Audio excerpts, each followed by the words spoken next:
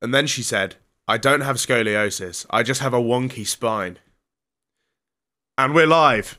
You are now listening to Radio Rufus. Hello and welcome to Radio Rufus. This is the number one Streets Won't Forget podcast on whatever delivery service you happen to be using. As always, myself, the debonair Rufus Rice, is joined by my absolute Irish legend of a producer, Aidan, and we take you through the latest and greatest news, sports, games, tunes. It's a, the classic radio variety show, though some of the scoops might not be quite as fresh as you are expecting, because, of course, as always, we are basking in the warm glory of our 1960s era radio station. Here's what's coming up on today's show. We've got um, an alligator getting stolen, wrestling in Uganda, and another message from my grandma.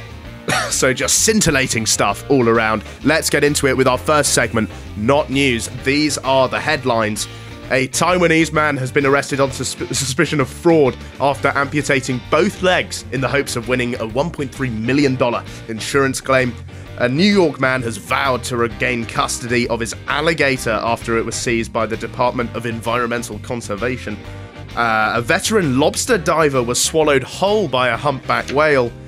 And a Canadian janitor has been sentenced to prison for six months after asking university students to hit him in the nuts. Let's get into that now with our first story a Taiwanese man arrested on fraud charges after chopping off both his legs and falsely trying to win over a million dollars in insurance claims. 23 year old Zhang, a university student from Taipei, is a legless wonder after last week. His decision to put his feet in a bucket of dry ice for more than 10 hours, causing irreversible frostbite and a necessary double amputation, was influenced by his school friend Liao. Liao had lost money trading cryptocurrency and misled Zhang into signing a legal document obligating him to pay Liao the eye watering sum of $800,000. Bad friend. Really bad friend. Yeah. You know when you get stitched up by, by your mates? This would be this would be a tough one to take. I'm not sure because we all have mates who are objectively bellends, but because they're your friend, it's okay. Yeah, they get away with certain I things. I think this one might be a deal breaker. 800k is a lot. Yeah, it is. In a last ditch attempt to try and guilt his friend into helping him, he told Zhang that gangsters were after him to try and like The old gangster. Yeah. yeah, yeah. the chase will be a lot easier for them now. I can tell already. This guy did not. Is this guy's not involved with the mafia at all? What he's ha- what he's got is a sports betting problem. he has not been playing responsibly. He has not stopped when the fun stopped. Imagine losing like 800 grand and in the process of trying to get it back, you also lose both your legs. You'd probably, you'd probably be a bit pissed off at that, wouldn't you? Uh, There's no winners here. Actually, there is because Ray Winstone is licking his lips right now with the sort of profits he's bringing in for Bet365. Anyway, the two concocted a scheme to make the money. I'm really confused about this because this bloke Liao, right?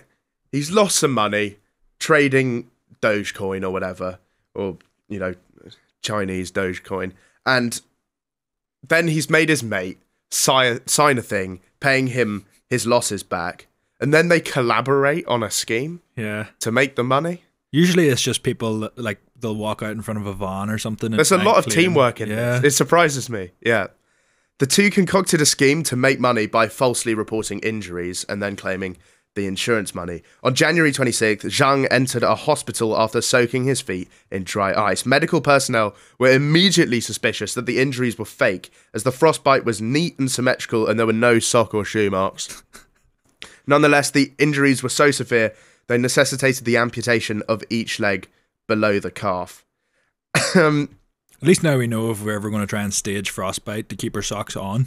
Yes, so that's a top tip for you at home. If you want to commit insurance fraud through um, amputation via frostbite, socks on. It's the same as the no homo advice. It's not, it's not gay if socks are on, Yeah, and it's not it's not fraud if socks are on. So um, that's good to know, everybody. Uh, the two blokes submitted a statement to the police when asked about said injuries, uh, saying that Zhang got frostbite whilst riding a motorbike. This happened in Taiwan, of course, which is a subtropical region. And on that day, I actually looked it up on the exact day. It was 14 degrees Celsius, which is not quite cold enough to get frostbite. Surely, if you're going to try and convince medical professionals that you got frostbite, do it in a night that's a slight bit nippier. Yeah, but um, I'm, they are stuck for choice there because Taiwan just is not that cold. Yeah. I, I, this is probably the only case of frostbite they've ever had. Although, I, It'd be like claiming you got heat stroke in December. yeah, exactly. It's just it's, it didn't even have a chance to get off the ground. They, you guys need some better script writers. I think they've been hit hard by the uh, the writers' strike. They needed they needed people to to come in and have a good story. This reminds me of sort of season eight and nine of The Office, like where the storylines are played out. Yeah. We've got a contract. To, for this many episodes, something's got to happen. Let's add some new characters nobody likes and make all the ones everyone does like into twats. Yeah. And Just ruin it for everyone. yeah, just ruin it for everybody, and nobody can believe any of it. That's what this reminds me of. Although I have a fairly similar actual life experience to this. I got the early stages of frostbite in China. Right. So, what part of China was it? Yeah, it wasn't this bit. Yeah. Um, I was in Inner Mongolia, Right. which um used to be Mongolia, until they built um, fuck off wall. Not sure if you've heard about it, but they they built a pretty impressive wall, um, and it's so cold. We went skiing there as part of a business trip, looking for new markets for skiing, like new places where people might want to go skiing. Turns out, Inner Mongolia is not like the Chinese Alps. Like it's not great. it's, it's not brilliant. And our bag on the plane on the way there, we came out and it was just covered in fish ice. Fuck me. So what I assume had happened is some neek was transporting a fish in a tank. The tank had burst in the hold, and the water had Spilled covered, over. sprayed over our bag, and then just frozen in the air. and we came, we came out. This this thing smelt like Oh, I don't even want to imagine. yeah, it smelt like um a chippy. I think I would rather frostbite than the smell of fish overall. My fucking Yeah, it was it was nasty, man, and we had to drag that thing around China. uh, we went to a ski resort, and God, it was it was so cold. yeah. Proper Siberian temperatures. It was one run and then in. So you And- think these boys, if they had just got a flight to like the next place over, they would have got away with it? Maybe.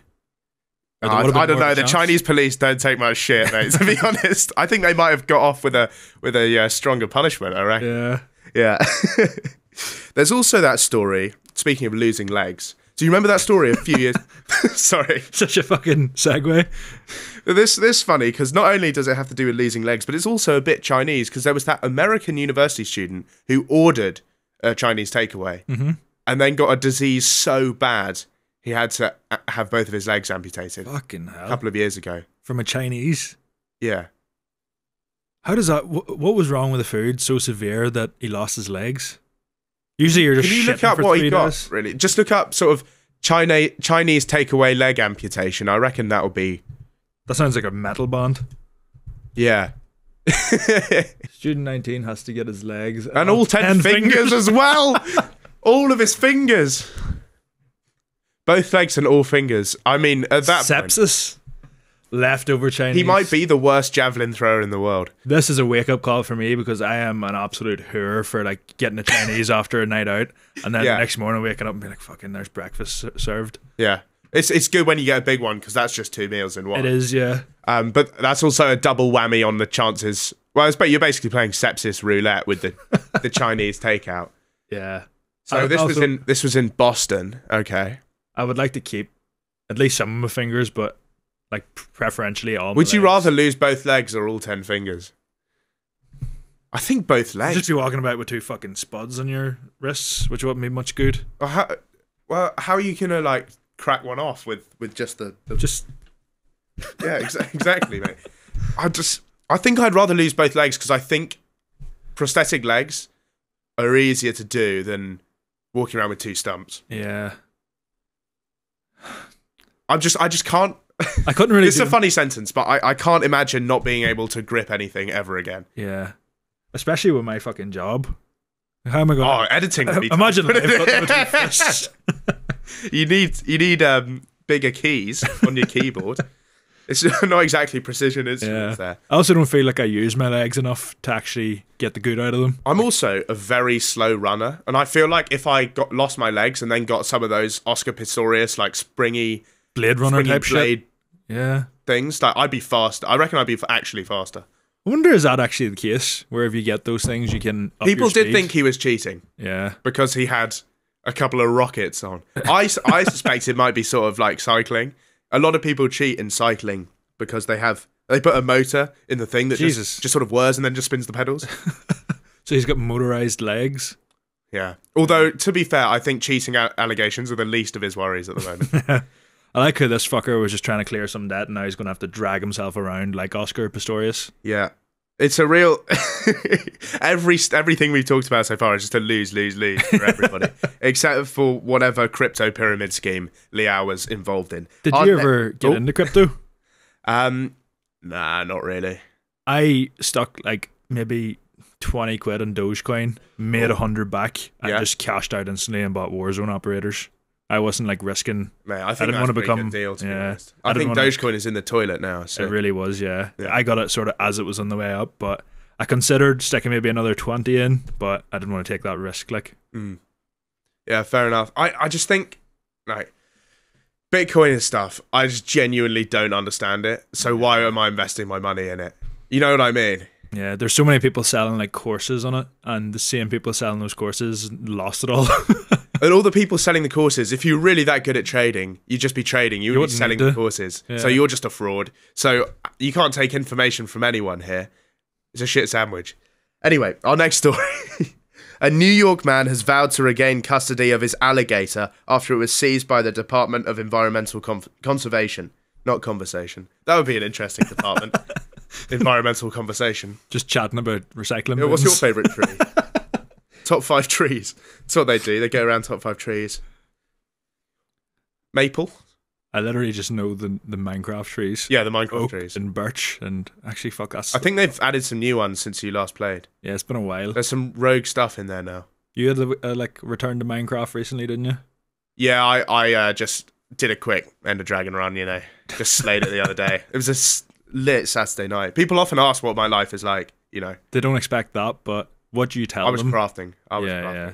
Oh, oh, I'm telling. I tell them like I'm. You know, plowing every night. I would much take the the end I'd rather craft. battle. Yeah, yeah. And Ender Dragon and a wank. That's a good night. a couple of Lindors to top it off. Wait, that's a class night. That's faff. There's no risk involved. Yeah, that's true.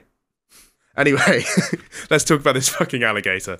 Um, Tony Cavallaro's favourite pet, a 750 pound 11 foot alligator named Albert, was removed by conservation officials on March 16th. The alligator is about 30, year o- 30 years old, is blind in both eyes, and has spinal issues. It's like my granny got the exact same just recently. You- you- this alligator got the granny bill. yeah, bro, it's got I It arthritis. sounds like it has fucking multiple sclerosis, which is never a good thing. It's bad enough getting it once. yeah, one sclerosis is enough. Yeah. Multiple is You're fucked. I've actually never heard of anybody having just one sclerosis. it's always multiple sclerosis. yeah. Is everyone just really unlucky, or does it only come in pairs? That's what I mean. It's like Noah's Ark. They're all they're all turning up two by two. I can tell from the name that he likes this pet too much. Albert is like a regal name. Yeah. That's like a posh name for an alligator. It's I could tell it takes pride of place. Like it is the most important thing in his life with the name Albert. yeah. Yeah. I, I really applaud the rogue choice of pet. Like some people would just opt for like a hamster, maybe a house cat, Yeah. but he wanted a fucking alligator. I don't like pets because I I find there's a lot of admin involved. Yeah. And I say that talking about like a normal dog, let alone this arthritic heifer lump that could, let's not forget, kill you at any moment. Yeah. I don't care that it's blind and spinal issues. I'm not going anywhere near this thing. if your cat is maybe in like a bit of a mood, maybe you'll get scrubbed. Yeah. If this fucking alligator wakes up in the wrong, si- wrong side of the pond, you're fucked. Yeah. Like if he just takes a notion against you, like your his life is in your fucking hands. He clearly loves this thing though because he dug up his garden and installed an in-ground swimming pool to allow his gator to swim and cool off in the hot summer months. That's a big Christmas for an alligator. You'd be well chuffed with that. Yeah. I don't think my parents have ever done anything for me like that. He dug up his entire garden and installed a pool just for a bloody alligator. Just so Albert could have a nicer life. You know those pool cleaning TikToks? They're fucking unreal. I feel like they'd have to do a proper number on the alligator swamp. Yeah. feel like they're dirty creatures, man. I can't imagine them smelling the nicest, especially with how fucking old they can be. Yeah. Also, one Bad thing. breath from an alligator, I reckon, and a lot of it. yeah, you're not. He'd be brushing, stinking up the gaff. You're not brushing an alligator's teeth. That is a fucking risky move. It's like trying to get the smoke smell out of a sort of, you know, one of those gentlemen's clubs from ages ago. just stuck to all the cushions it's and just stuff. alligator stench, Yeah. man. One thing that I didn't really understand whenever I read this was that he needs to remember that he is in. Sorry, it was. This was in America, yes. Oh yeah, this Yeah. this is in America. If he wants a company that weighs 750 pounds, he doesn't need to stray away from humans. That's true, actually. Although I think like he's a looker though, Albert. He's not a munter. I had a look at him. Yeah. He's quite a sort of As Well- far as alligators go, yeah. pretty to look at. He's hot for an alligator. Mm. whatever that means. Said he previously had a permit to keep the gator, but did not renew it after it expired in 2021. I'm going to say it right now. Nobody should have a permit for an alligator. Yeah, that's You- a nobody problem. needs one of these. Nah. I don't know on what grounds you can claim that you need an alligator. Mate, just just get like even getting a snake's pretty weird. Yeah, that's up. That's a bit out there. Or Yeah. like the bearded dragons and stuff. Yeah, Get one of them. It's just a small uh, once you once you start like uh, pillaging the rainforest for stuff, just just get something from your area, man. Just Mm. go down to the Dogs Trust or whatever. I don't. I just don't. I just don't get it. Alligators. No one needs those. No one needs a lion. No one needs a tiger. I mean, we wouldn't have Tiger King. Obviously, great show. yeah, But come on, mate. there could be a fucking alligator king coming if this fucker keeps I continuing would love kick up a fuss. Alligator King. Yeah. That would be great. Um, I don't think I would. I could have an alligator in my one bedroom London flat. Like the landlord was a bit iffy about a dog, so Yeah. I don't know if an alligator would fly. But also, I Bit wouldn't a have bit rude to call your girlfriend a dog there. But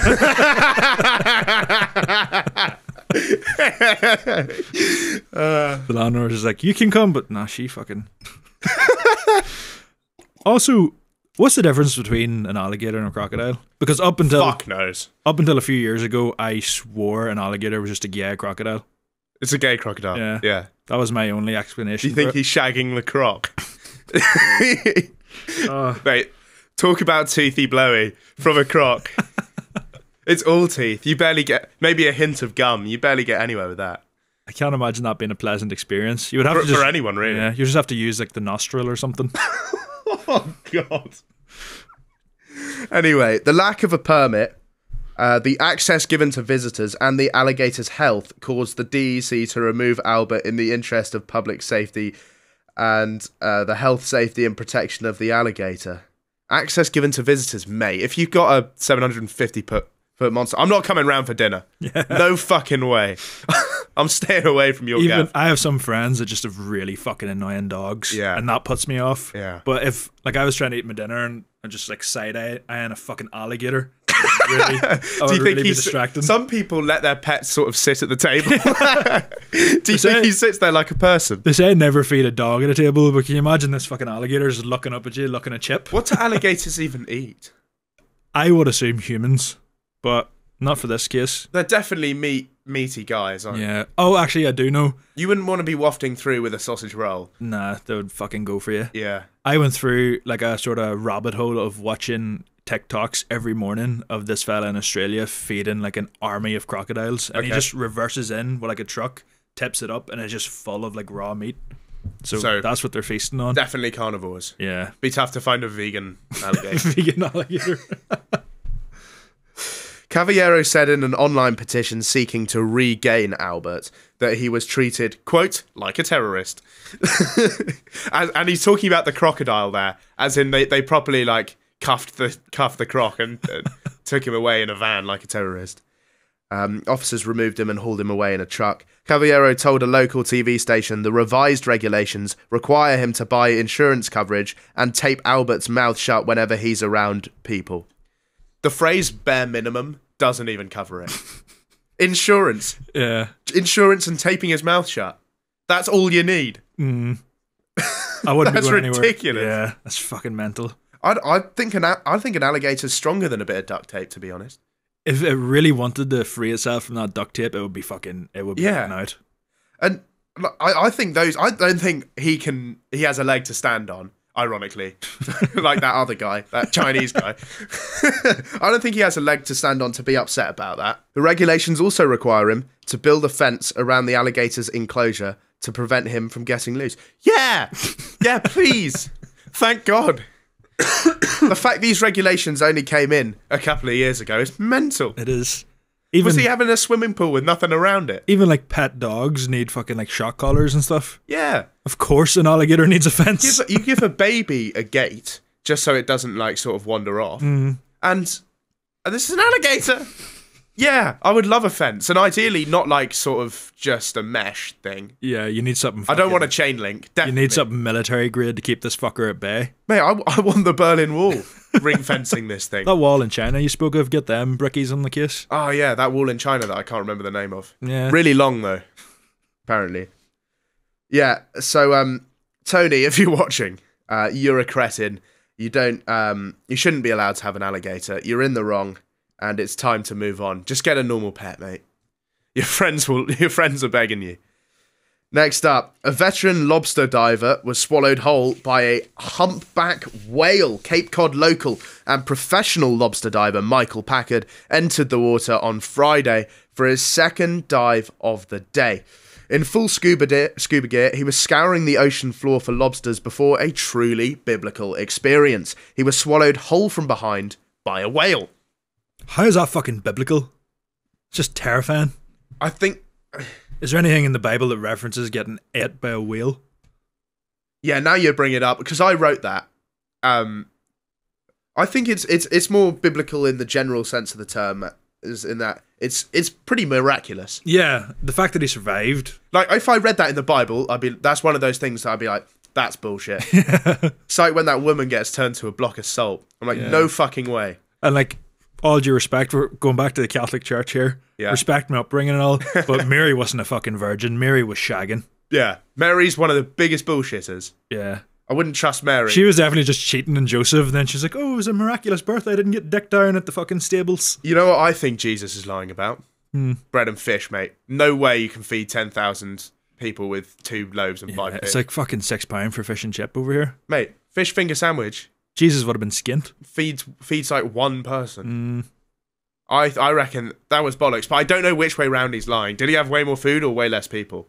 We'll never know. yeah, it's probably like he, he probably just, I reckon he hyped up like the attendance numbers. to yeah try he just had a few friends around. yeah, he, he's like he basically like he's sort of buying followers. Really, that's what he's doing. He's doing one of those services. You hmm. can get fake followers, and they had all brought food from home. One of them like bring your own beer parties. Yeah, bring your own B O B Y O B. Bring your own bread.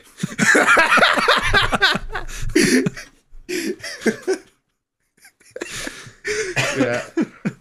Also, can I just say, lobster diver? That was a new job for me. I hadn't heard of that before.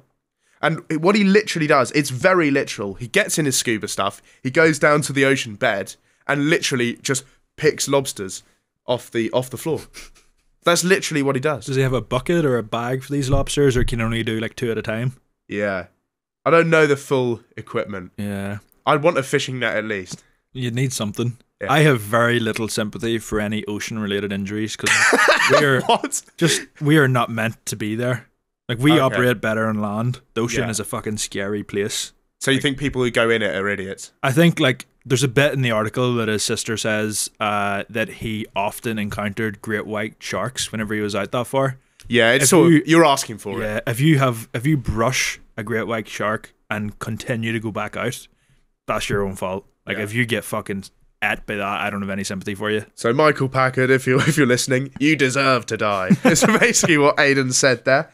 Yeah. So he said, I could sense I was moving and I could feel the whale squeezing with the muscles in his mouth.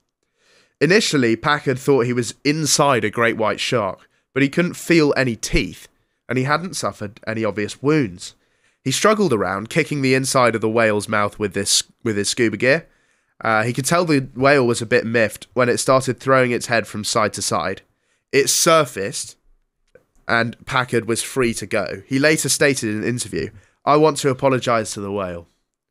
Mate, I'll be honest. I think this is on the whale. I'd be fuming at the whale. I Yeah. wouldn't yeah, any apology. I don't think you've got anything to be sorry for. I think this is 100% definitively the whale's fault. He just went for a dip in the deep end and ended up in a fucking whale's mouth. That is not his fault at all. The- I'll- Yeah. If that did happen to me, I would definitely be telling people that it like blew me out of the blowhole instead of just spat me back out. That's a much I think they'd exit. start to not believe you, really. Yeah. I'm not sure of the exact diameter of a blowhole, but I imagine it's a bit more than you. Whales are A bit less, big. sorry. Yeah. Yeah, whales are big, but I feel like the blowhole, the sort of projection you get, like the trajectory of the ejaculation of seawater, if that's the right term.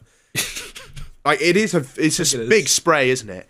And I feel like from what I know about hoses, if you want one of those, you've got to hold your finger over the Yeah, end. there'd be a so I lot can more only pressure. imagine it's, it's a very small sort of. If you're if you're watching there, probably about that big. I would. That's my guess. Yeah. So if you're an oceanographer, write in and let, let me know how accurate that is. Yeah, you got me there. To be fair, I, I probably can't exit via the Because it the goes blowhole. very sort of high. The Yeah, there need to be a lot of pressure, and again, that fucking whenever you're trying to like soak your brothers or something, and you put the the thumb as you it. do. Yeah, you never have like water fights. Whenever you try to soak your brothers.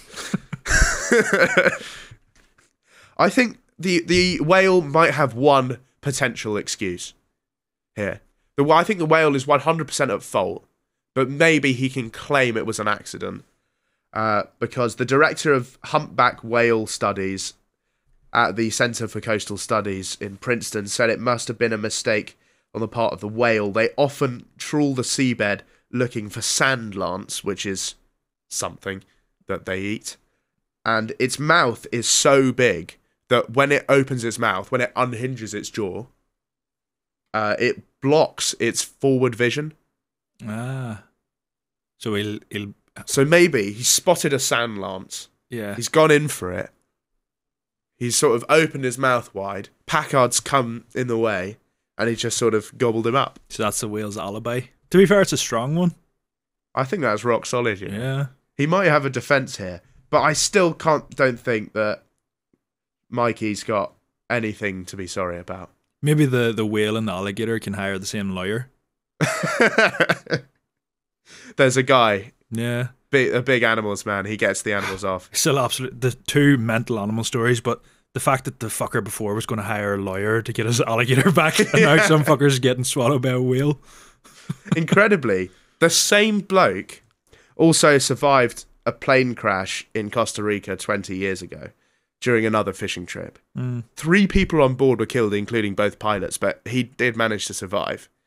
And I think now that's two sort of fishing adjacent incidents. Yeah. How many times does this sort of thing have to happen before you call it a day? He's had his warning shots at this stage. Yeah, like I feel like if I was swallowed by a whale, I would just wouldn't do fishing anymore. But going back to that point you made about not having no sympathy for ocean people, like after a plane crash and being swallowed by a whale, I'd definitely be giving it up. I think it's time to find a new hobby. I'd quit when you're ahead, Mick. That's fucking taking the piss. It's like it's like Theo Baker. There's nothing he loves more than football, and yet every time he plays it, he is consistently injured by the sport that he loves. It comes back to bite him every time, and yet he insists and continues to do rehab every single time to try and restore his withering body to a semblance of relative athleticism. I didn't see where you were going with that at all. Whenever you're comparing Theo Baker to this humpback whale story, It's not the a- best analogy. It is. It's a good comparison. Now Oh, that you you explain it. Um, I, he just has a fucking hip made of glass, which I feel for because Exactly. He keeps going back. He keeps asking for it. And one of these days, uh, Michael Packard is going to end up. What's going to on happen? pitch side. he's gonna. He's gonna end up. I don't know, getting sort of Steve Irwin. You know, yeah. I feel like you you have that many interactions with animals. Yeah, rest in peace. But it's like Steve Irwin was sort of asking for it as well. Like you spend your whole life around dangerous animals, some shit's gonna happen. I over lockdown, I binge watched every single episode of that at like 4 a.m. in the morning, like every night on YouTube. Yeah. And there was a clip where I think it was like a, a Komodo dragon, and it bit him in the foot and literally bit through his boot. His the blood was pissing out of it. Yeah. And he started apologizing to the dragon because it broke his tooth. Okay, That's- once once again, there's there's a problem going on here, guys. It's not your fault. you got to put it on the dragon. Yeah. There, you've got to wait for him to apologize to you if you really want to get through it. Yeah. And maybe avoid stingrays and whatnot. Yeah. Don't touch up a stingray. Just just a, that's just general advice for anyone.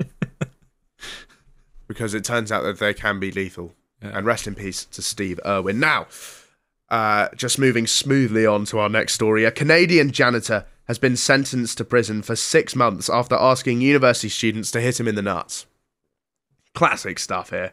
The caretaker of a student building in Sherbrooke, Quebec, has been sent down over allegations of indecent requests for cock and ball torture. As the janitor and trusted custodian of the building, he had the phone numbers of every person. He selected specific victims, no surprises here, all women, and sent them a risky text offering $100 to hit him in the genitals for 30 minutes. What's That's a long time. Is that like 80, 75, 80 quid or something? Yeah, I was going to look up the exchange rate because that's um that's a lot for 30 minutes. That's a good hourly rate, that is. Yeah. I honestly think though that the students are a bit ungrateful. Because, like, if if you were like truly living the skint uni experience, Yeah. you would bite someone's hand off for this financial opportunity.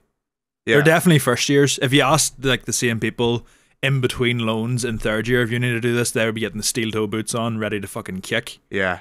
They're ready to pop some scrotum. 100%.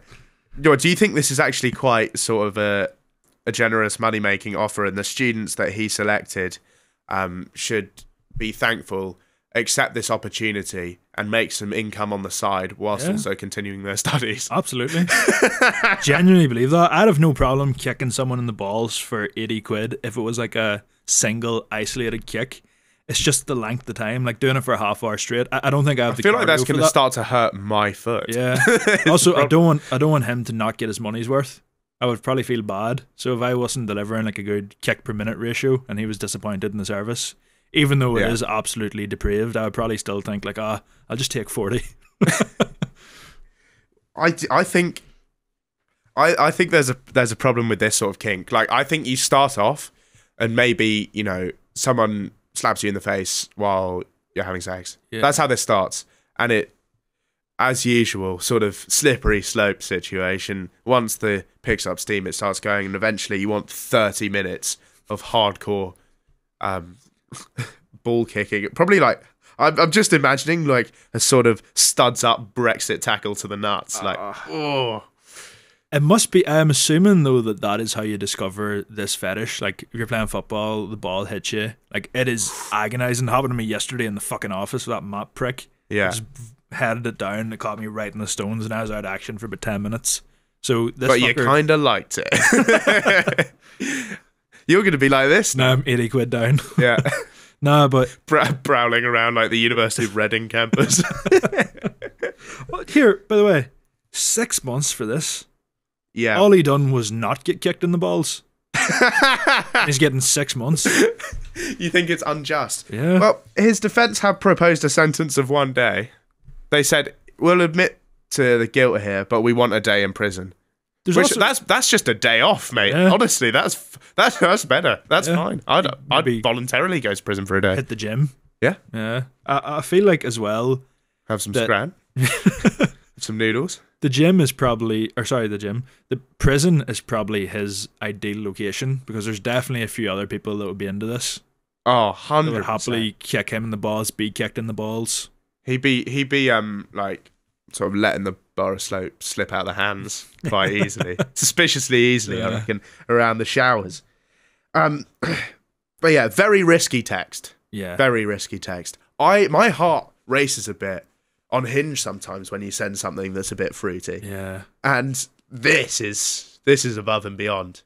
Specifically requesting cock and ball torture from On a first text. on a first text. I'm going to say it's, it's definitely out there. It's the sort of strategy where you won't get a lot of responses, but the ones who do respond are probably keepers. They're probably the ones for you. Yeah. He also uh, apologized to the victims after his conviction, which is the most Canadian thing ever.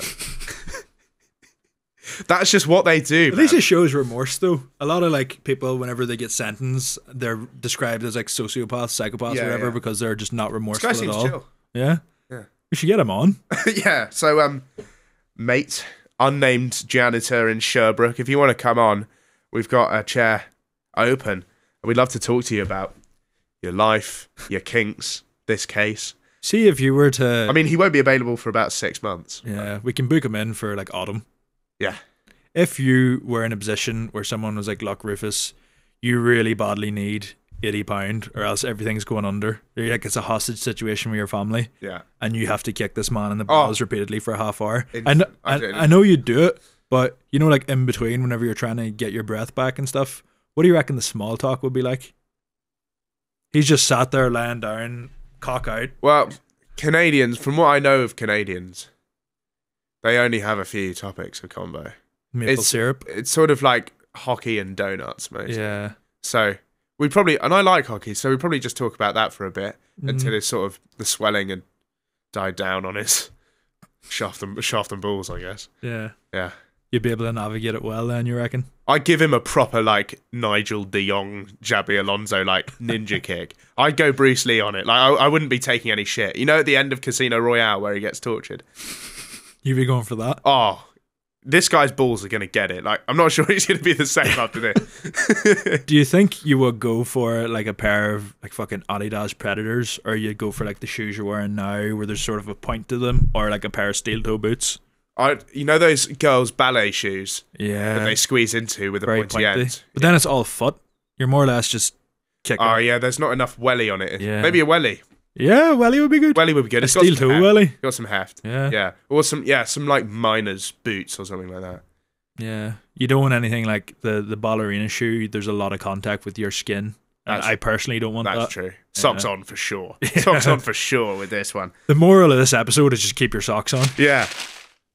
Right, we move on to our next segment now. Snatch of the day. This is all the sports news, and today we're covering the Ugandan soft ground wrestling promotion, which unsurprisingly is a wrestling promotion played on soft ground in Uganda.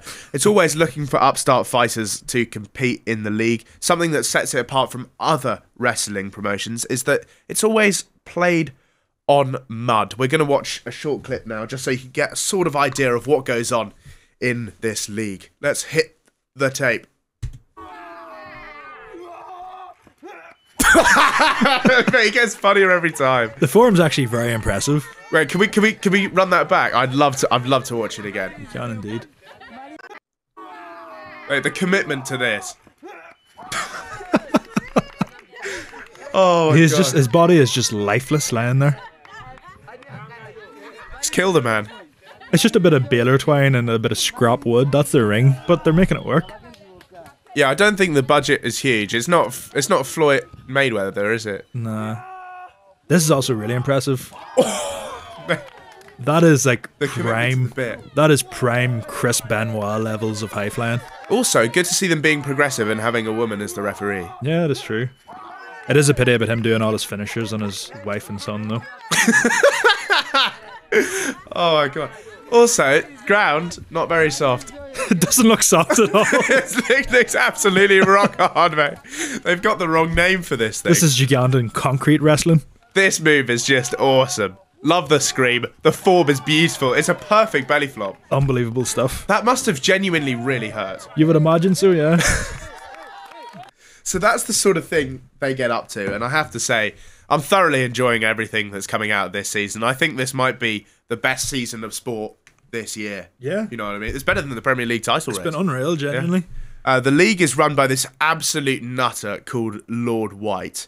Uh, I don't know any relation to Dana White at all from UFC. Maybe a second cousin or something. Could be. In the latest video that they put out, the uh, the the SGW, uh, big big bad Lord White, he addressed a crowd and insulted them by calling them stupid. He said he would give them a condensed version of the presentation about the history of wrestling that he prepared. The crowd continued to boo him as he delivered the presentation. Uh, he was said during this presentation he was surrounded by Ugandans and said they were invented by the British, which drew more boos. He called it an awful country and noted that the British gave Uganda their independence because they did not want it anymore. And we're going to see that play out as he addresses the crowd here. And you can really get a sense of the sort of character that Lord White is. Yeah. Even the stunts. I mean, straight away, first thing I'm noticing The short man syndrome is unreal. He is five foot five at a push. He is minuscule and he is angry. He is the least threatening looking person I've ever seen, though. The main danger facing off against him would be getting your eye put out by his snout. He looks like the sort of b- bloke that would come into school and like sit in the back and open a gaming laptop that's like the loudest piece of machinery ever constructed. He looks like a fucking resident of Whoville. yeah, he does. What the fuck? This woman's shaking her ass. this is Ugandan Mate, muck wrestling. It's not a Cardi B music video. I mean, to be fair, she's got the ingredients for the recipe. That is, she's seriously thick. that, that woman is serious cake. She's packing enough for the whole class there. a very long presentation about the history of wrestling for all of you. You know, you ever think back to, you know, like that one weird autistic lad in your class? You ever think, like, what are they up to now? This is it. This is the guy. They've emigrated to Uganda and are fucking. So he's delivering a speech to a bunch of Ugandans about how Uganda is a British colony and he owns the wrestling league and they all work for him. And then I believe at the end he recites the national anthem. He does, he tries it. This is where it gets a bit tasty, though. This is where he actually sort of has a. The a- crowd properly gets angry. yeah. The editing is fucking mental. Mate, they should hire whoever did this for the fellas. Yeah. be a a bang up job. Subtitling as well. He's he he literally has all the skills. Jump cut and subtitle. This fucker in the background has been lining up the RKO for about five minutes. Oh, That is vicious. I mean the form is unbelievable. I love the Love high that. quality frame rate of the, the action slow motion replay. Yeah. oh yes, See, honestly, they're loving it. if anyone from the WWE happens to be watching, please donate. For for the love of Ugandan kneecaps, please donate them an actual ring. Yeah.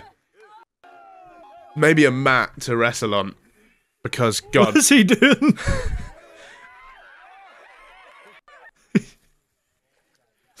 what's funny is he he's clearly written this absolutely batshit script for this. Yeah. He's told a bunch of random Ugandans to turn up. They obviously don't understand a word of it.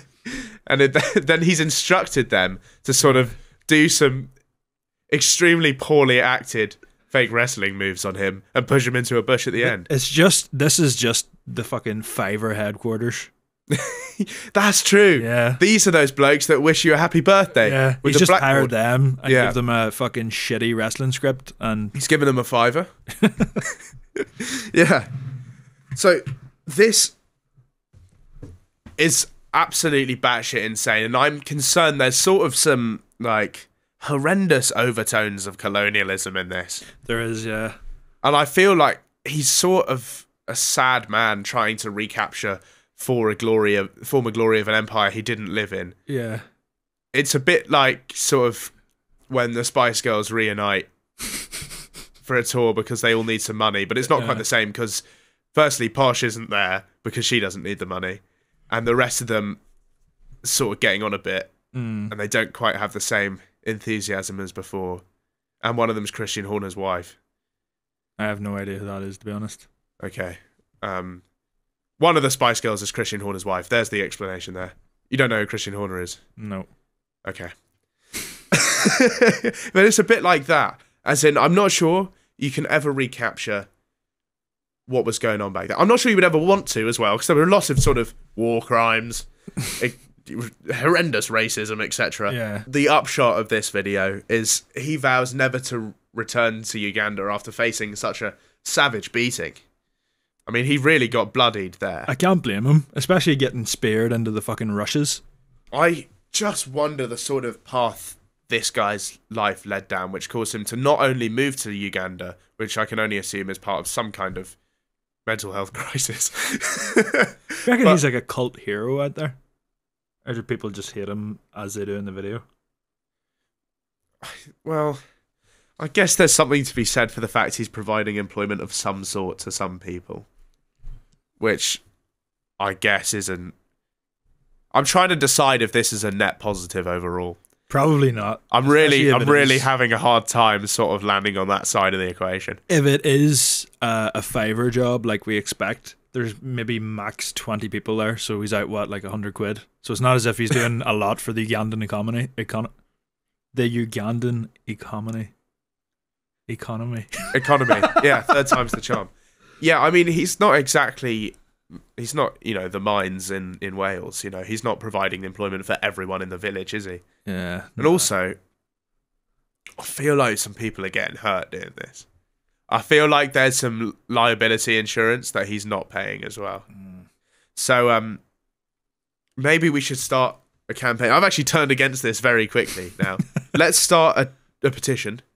We're going to end the Ugandan Soft Ground Wrestling League, or we buy the Ugandan Soft Ground Wrestling League Yeah. and wind it down, maybe. But that that does involve putting money in this guy's pocket, which I'm not thrilled about. I feel like as well, if we're going to start like a a petition, we need to like really up our white female demographic because I fucking love signing them. They do love petitions. Yeah. Yeah.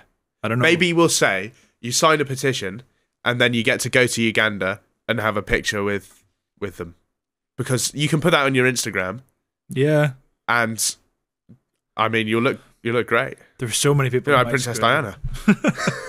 There are so many people in my school that there was like a maybe like a school trip that they'd done through like the the local chapel that took them out to I think it was Zambia Yeah. and they all had like photos of like we starving African babies holding them and they're Yeah. there they're there for a weekend and Yeah, it's still yeah. their Facebook profile pictures. Yeah. You fucking abandon those babies. It's it's crazy. I'm really against that sort of stuff. That Yeah. sort of virtue signaling. it really Like, is. They cut. They come back after building one house in Africa, which that's going to solve the problem. It's just a fucking- They're like raw. Africa is so dirty. Well, there's probably more girls that I went to school with Yeah. did, but they're like, raw. Africa is, is so like so dirty, like pretty stinky. Africa, like that's what the supposed to be like. But their Facebook profile picture's Oh, still yeah. them nursing a wee a wee baby. yeah. Oh, they don't even have vapes. There's no elf bars in Africa. That's not a real fact. But This this might before I need to preface this before I even say it. This might just instantly need cut. well, the whole segment. No, just what I'm about to say. Oh, okay. Um, oh, this is going to be good. I've always thought, right? You know how It's to be so bad. You know how you always see the advertisements where it's like young whatever his name is has to walk 15 miles a day to get water. Yeah. It's not as if they're building like fucking two story houses. They're like huts made of muck and sticks. I Can yeah. they not just build it closer to the well? move house? Yeah. Yeah. Or yeah, or buy a car. those those are options, I guess. Yeah. We've give you two two choices. So um yeah, let us know how that goes. Now moving on to the weather segment, drizzle kicks coming at you now, and England has had one nice day. Yeah, Big news. One nice day. It's pretty nice. Now, our next segment dispatches from Gran. So last week, my grandma wrote into the show to tell us what life was like on uh, the, her side of the Berlin Wall. I mean, she didn't live in Berlin, but she, I guess, she was on a side of it. Really, long, long way from the wall in London. But um, she told us what that era was like, and now she's bought us a present. Ooh. So thank you to my gran, who I can report is is still deaf, and I'm still um, not sure how she listens to this. still can't work it out. But thank you. She said she's been enjoying the clips. Yeah. Thank you, gran. Um, this is what she sent in. My gran is a bit is she's she's a knitter. Mhm. She is a big knitter, right? And one thing she loves to do is knit. Specifically, ties from the 60s. So these are era era specific ties. This is what people were wearing back in the day. Can I have a feel? So do you want you want burgundy? I reckon yeah, that would suit you. I'll go burgundy. Yeah. I have to say, extremely itchy, but I feel like all clothes were back then. Yeah, it's got it's kind of got that charm to it though. Yeah, itch. that charm. we we trying them on. So she's also sent in. This is an advert from the era, so you can get the sense of what was Oh, sort shit. of going on. yeah, And these used to cost one shilling. what is the conversion rate now of a shilling? What would it be worth? It's really hard because okay, a shilling is a there's twenty shillings in a pound, so one shilling is five p. Right. But because of inflation, five p, and it was the old system as well. We worked it out. It's sort of eighty nine p for one of these bad boys in modern money. right. Um, but so that's the sort of thing you would wear to work. I'm actually going to put mine on. I think. Yeah, we'll give it a try. It's very long, very long. Have to say, very long. Um, there's two sort of, you know, normally in a tie there's a long bit and a short bit. Yeah. There's just two long bits. It's very time. even, Yeah. yeah. Yeah.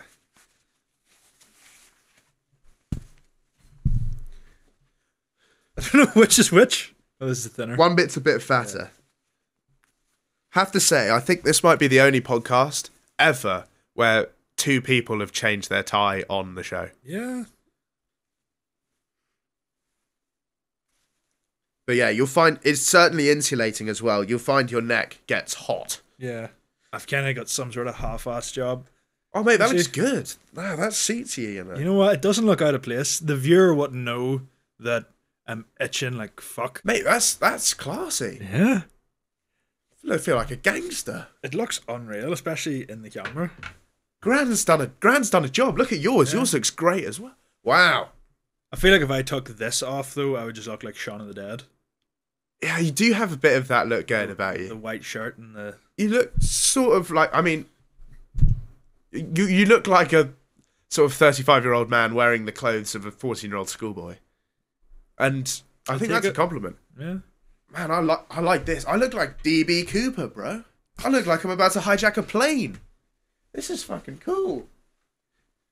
Grand's Grand's been dripping us out, man. Oh yeah, that's the look. Love that. Beautiful. I'm gonna do our next segment like this.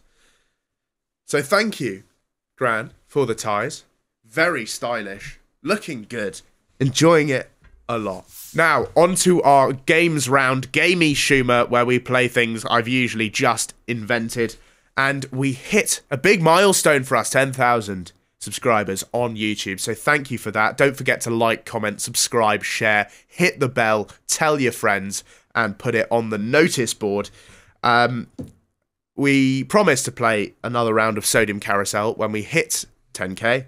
Uh, so we're going to play another round of Sodium Carousel. Here we go. Categories. I was thinking Premier like vintage Premier League footballers. Okay, another football related one. I'm up for that. Yeah. Yeah, yeah, that's good. That's good with me. But they have to be specifically vintage. Yeah. I think no current players. No nothing post 2010. Oh, that's going to be hard. I'm not Well, like I their career kind of dipped into the 2010s, but I'm not. Man, I'm not sure I can even. 2000s fucking Premier League footballers. I was, I was barely watching it, man. Yeah. Well, any names that spring to mind then? I'll see. I'll see what I can do. I, I'm. I'm I'm just going for sort of like bang average footballers, Yeah. like no good players. well, we'll see what we I'm just going to name the full Man City we, we can see what we can do. yeah. Okay, right. Is that enough water for sodium carousel? Doesn't feel like it, but here we go for round two of sodium carousel. As traditional, I will begin. Stephen Ireland. Quality player on his day. uh, fuck shit one's not going to mind. Charles N'Zogbia.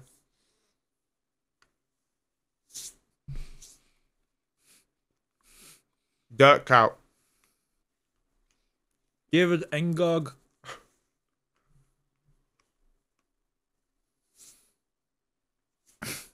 Oh, Vladimir Smicer. Gabriel Agbonlahor.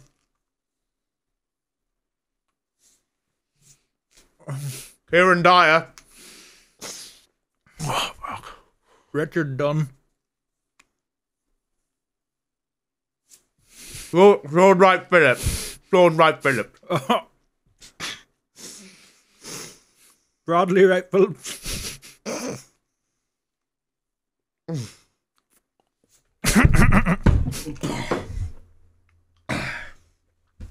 Ah, that's so much worse this time.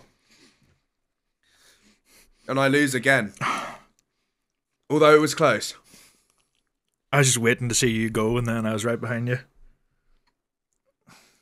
Again, though, as always, with Radio Rufus, there never really feels like there's a winner. No, you know what that was? That was a totally joyless experience. At least the first time, it was funny. Yeah, it was new. It was new, and now, now, I've Just- seen it all before. That's just But if we hit 12,000 subscribers, no, we're not.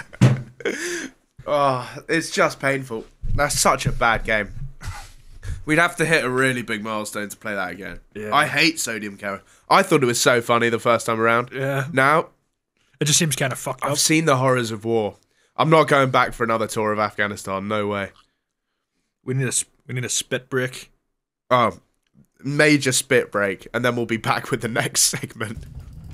Now, moving on to our very helpful consumer advice segment. This is Out of Packet, and that name is not a thinly veiled reference to some certain substance.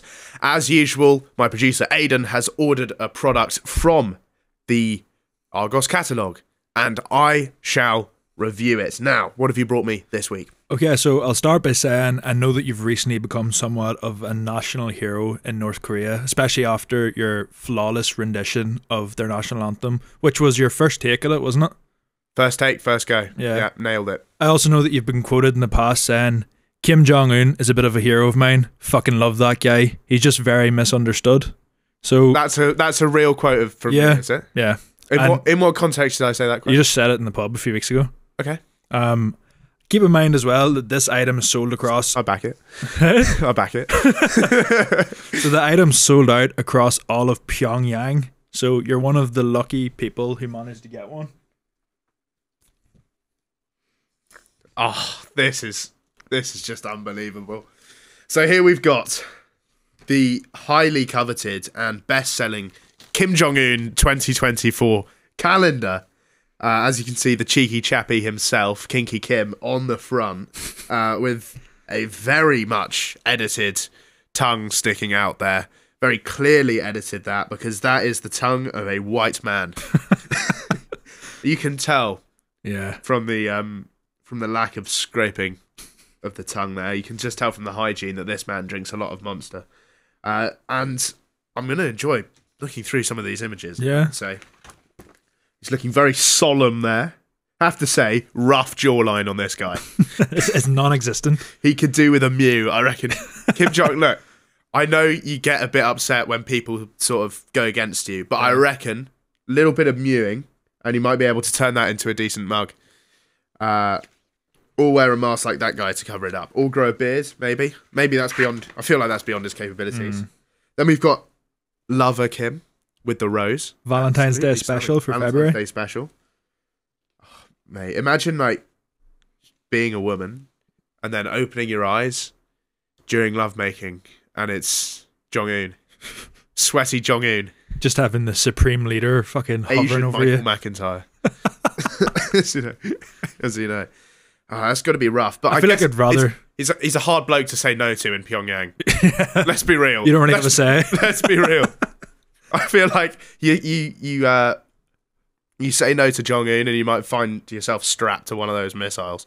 I do feel like I would rather spend the evening with Kim Jong Un than Michael McIntyre, though.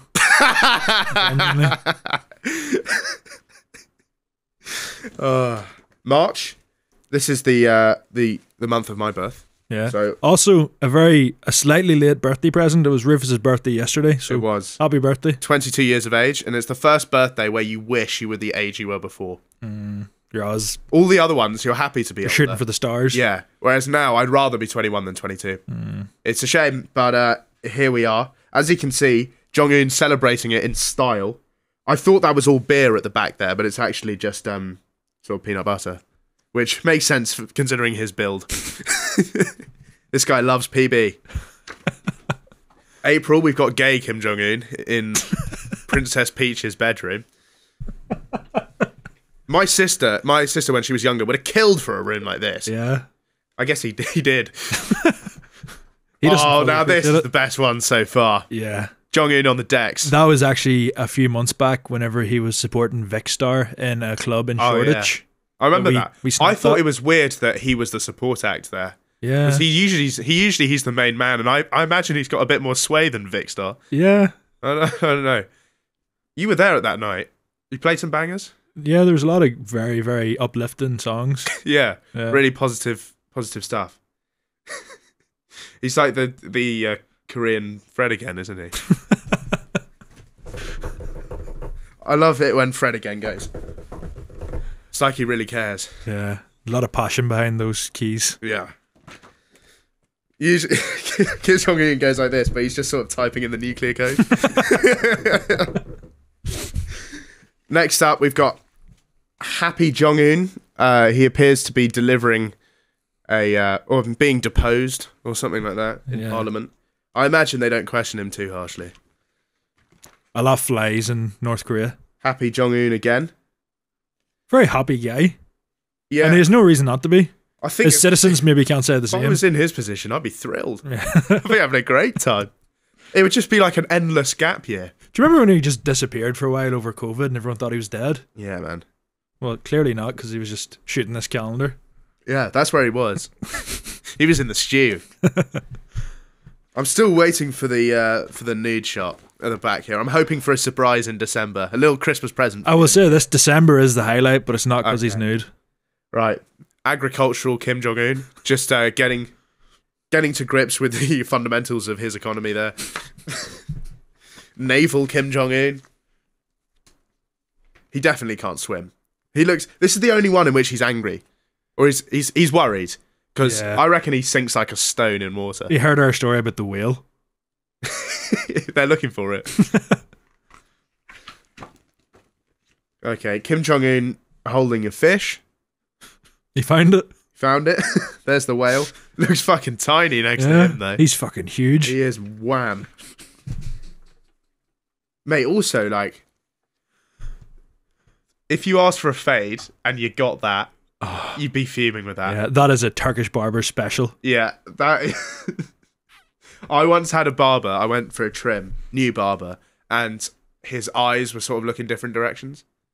and I was like, "Look, I know you can still see, Yeah. but it's not a great start." Nah, I feel like for the application process for being a barber, you need to at least not be cockeyed. Yeah, that was one of the worst trims I've ever had. Yeah. It was actually relatively similar to this one.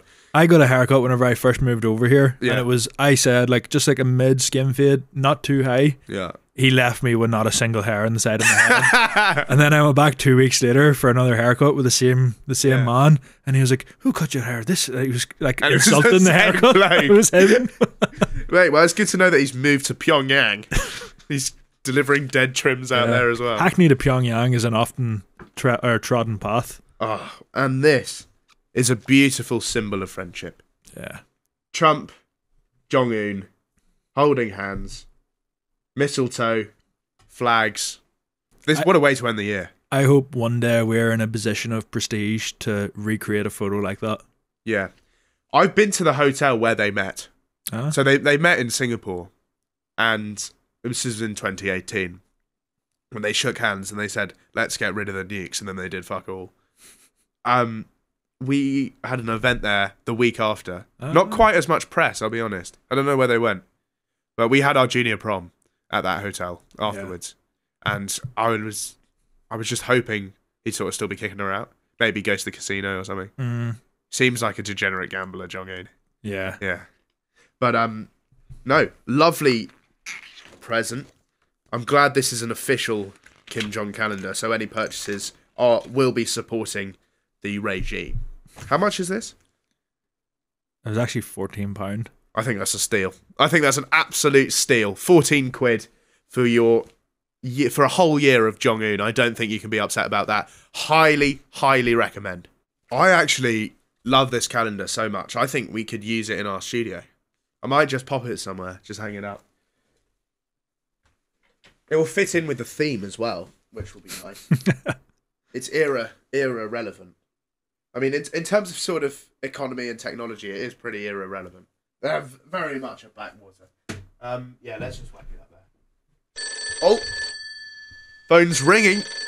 Something's coming in. Hello. Big news. Big news today. It's Martin. Martin, hello. Yes. Wow. Wow. Okay. Thank you. Well, I've just had something big come in down the line from our Cuban correspondent, Martin Ødegaard. This is today's news. Today, of course, being the 17th of April, 1961. Two boats, each with a flotilla, and an underwater demolition team of five frogmen entered the Bay of Pigs in the early hours of this morning. Some boats were damaged because of coral, uh, but it was established that the US military has invaded Cuba. There's been a military landing in Cuba. Some boats damaged because they believed it was seaweed, but it was actually coral reef they were landing on. But nonetheless, troops have made it to the beach. Big news here. Huge news. Two boats, two flotillas, each with five frogmen for a total of 10 frogmen It's a lot of frogmen. in the Bay of Pigs. Yeah. And I'm not sure what a flotilla is either. That sounds like a bit of Mexican cuisine. I'm also not sure what a frogman is. Yeah. And I don't know where the Bay of Pigs is either. so there's very, really very little information being given here by Martin, who has, I have to say, is one of the shitter reporters that we have around the world. Yeah. He's Um, doing work experience, so whether he stays or not is kind of I have to say, air. this this sounds it is a tasty story though. Flotilla, that sounds delicious. I'd love a flotilla. And Bay of Pigs, love a little little B- BBQ pork. Yeah, It's the sandwich. frogman that's really ruining it for me. Always the French getting involved in this sort of shit. Anyway, Fidel Castro has put out a statement saying that the invaders are all members of the exiled Cuban Revolutionary Front, and they have come to destroy the regime and take away the freedoms and rights of men. At around 11 this morning, there was an aerial scuffle. So it's not just a land offensive now, and a US Fart 33 was shot down sorry, a US Fart 33 shot down a, a Cuban Foul B 26, which then crash landed in a field.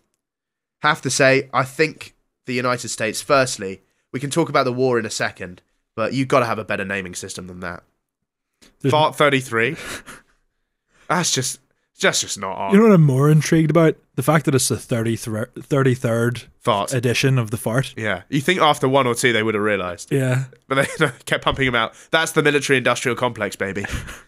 That's c- this is crazy, and I have to say, I like a US win again here. Yeah. They've got they they're on a hot streak. They're in form definitely. I don't know if you remember the results of World War One and World War Two. Yeah. Um, let's forget about Korea. They're on. they're- in pretty decent nick here. They really love a scrap. They love a scrap. Yeah. I think they're well up for it, and I'm sticking my money. I'm all in behind a US win. The Yanks really love a scrap as well. They do, they do. They still have that war going on with the Vietnamese as well, and they're looking really, really good in that. Yeah, I like them. They're shaping up nicely here. It's tough for them to because they've sort of had to put out the B team for this, while the uh, the first team are out in Vietnam. It's tough. It's just a tough when you've got a lot of away fixtures. It's tough with the scheduling, and you need a lot of squad rotation. Yeah. So that is the concern here: is that maybe they haven't put the best men for the job on this. Yeah. But nonetheless, it's Cuba, mate. They're crap. I can't remember the last time Cuba won anything. Yeah, they've never had a good team in like recent years anyway. Yeah. So I think easy money betting on a US win here. But it also is a little bit of a disaster for your mate and mine, JFK. Because I think he wanted this to be secret. Yeah. From what Martin has told me, he wanted this to be secret, but they've immediately come out and said it's exiled Cubans mm. fighting with the Americans. He just showed his full hand to Castro in a piss poor attempt to overthrow his regime. Straight away, he was like, This is what I'm trying to do. Absolutely rubbish. I think this might be the worst thing that will happen to JFK during his presidency. Yeah, he, he hasn't had much luck recently, but I'm sure good fortunes are right around the corner for him. Anyway, with the betting lines, there are some I like, some side bets here. Obviously, we have the main result going all the way for a US win, but I think there is an outside chance of a nuke being dropped here. Yeah. I think there's a chance that the the Kremlin gets involved here. I'd like the Ruskies to hop on the back of this. I Yeah. think maybe they take they seize this as an opportunity, and they like they're known for getting a bit hot headed about stuff and making rash decisions, and they might just go Dmitri, send the nukes. I could see in this situation Soviet Union and Cuba getting on pretty well. Yeah, I there, there's definitely there's definitely money to be made there. I've got an acca bet, right? Kremlin makes a statement in the next two days. Nuke gets dropped Yeah. at some point, but an overall US win. And I'm not sure which side is going to drop the nuke. It's a tough situation for sure. There's many, many tactics here. And it's going to be interesting to see how this offensive progresses. I have to say, I'm pretty upset with the performance of that one guy in the Cuban plane losing to that American in the fart. You know when blokes go, "I could land a plane." Yeah. No instructions. No, no, you couldn't. I think this quite clearly shows if you don't know what you're doing, you're going to die pretty soon. I remember trying to play the Black Ops 1 campaign with like inverted controls. Oh. And that was a fucking nightmare. Yeah. So I don't think I'd last long in a plane. I'd I'd struggle getting it off the ground, Yeah. let alone trying to shoot the thing and fly at the same time. With farts coming at you left, right, and centre. Exactly. Um, this guy, he has crash landed, but he is okay. We'll say that. Although you might not want him on the team next time.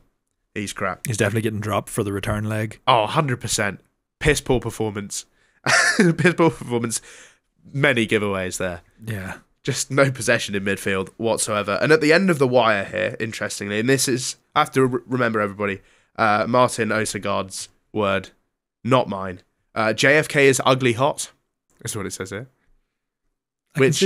I could back that all the way. Yeah. I might put some money on that as well because I think it's sort of just him being relatively young for a president, him being sort of relatively cool for a president, and his association with some celebs, like um, Marilyn Monroe. Don't know if you've heard of her, but there was there's been some talk in the papers recently about them maybe getting it on in a hotel. It's done a lot for his street cred then. Done a lot for his street cred, and I think that means he he's now like he's sort of hotter than he actually is. I think if you actually just took a look at him, he's a bit of a munter. Yeah, if like JFK was working in a fucking Sainsbury's local, you wouldn't you wouldn't look at him twice. But Exactly. as a president, he's looking looking pretty good. Well, when you compare him to the sort of ancient fucks that have he's been with in the past sort of hundred years, he is looking pretty fresh compared to them. Absolutely. now, as always, we end with our musical serenade, and this is a tribute to one of the great heroes of mine.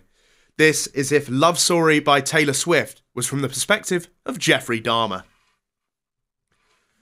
You were 22 when I first paid you 50 bucks and six beers to fillet me in my flat. It smells bad, ignore that.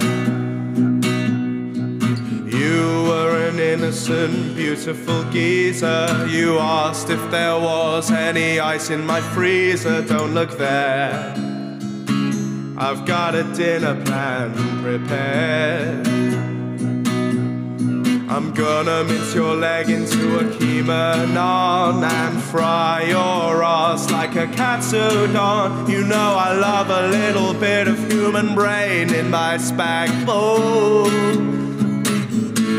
I'll cook aglio e olio with dustings of your skin flakes, butchering your rump. I've sliced it into big steaks. Michelin's impressed, cause I'm chefing like I'm Heston. Nothing on the bone, cause I'm nasty with the weapons. Squeeze your balls into a patty like a whopper. Put you on a skewer, spin you like a doner. Cover you in garlic, sell you out of my van. Dahmer in the kitchen, cooking up some top scram.